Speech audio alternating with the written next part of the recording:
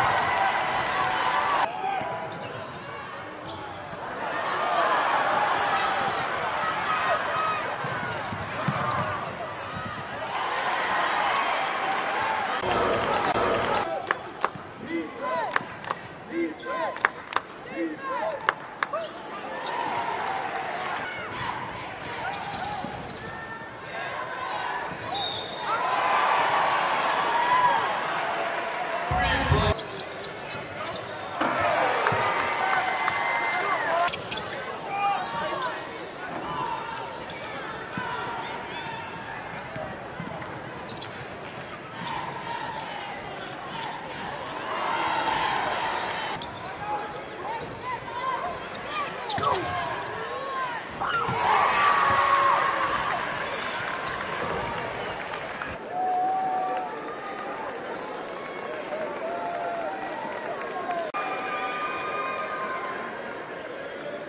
The Jaguars will advance to the state championship finals later this